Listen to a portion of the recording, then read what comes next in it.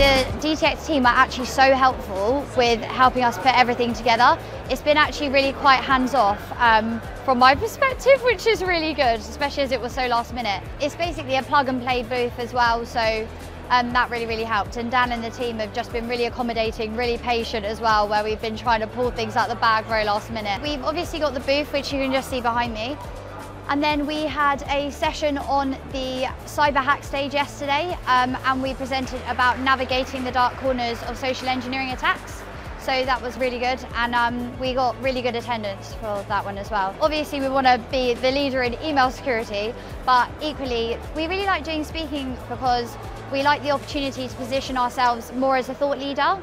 Those that have come to our booth have actually been genuinely interested in the solutions that we provide. We are getting more of the quality, so they're genuinely interested, they genuinely want a demo and they genu genuinely want us to follow up with them. And I personally see that as a lot more valuable than, you know, just a big sort of quantity over quality. It's important to target decision makers but then also practitioners where there are a few people from the same team. One of them will actually be using the product but then the other is the decision maker.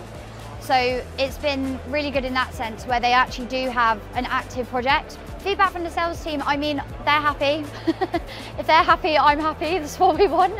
Um, yeah, they're happy with the conversations that they've had. Here we've already got meetings to follow up um, in the next couple of weeks, so we're really excited about that. We've already provisionally re-signed for next year, so I'm excited for that. It's important for us to do this again, I think.